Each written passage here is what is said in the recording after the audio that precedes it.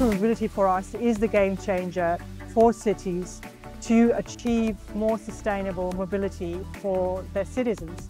So what we do at EIT Urban Mobility is help that ecosystem around companies, startups, innovators in the mobility space, in micromobility, and the cities to connect and to innovate faster.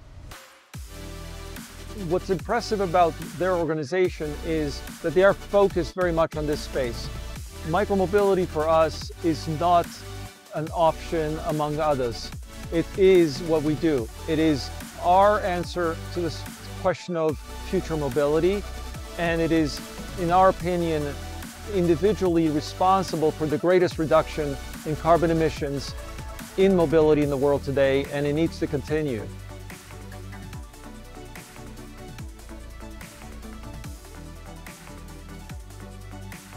For us in EIT Urban Mobility, micromobility is a really core DNA topic.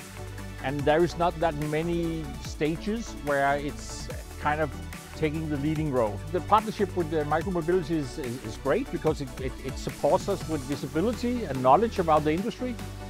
Our appetite to invest in, in, in micromobility is big, it's huge, and it's growing. We have recently uh, revised our high impact topics and active mobility, of which micromobility is a part, is, is now our top priority for investment.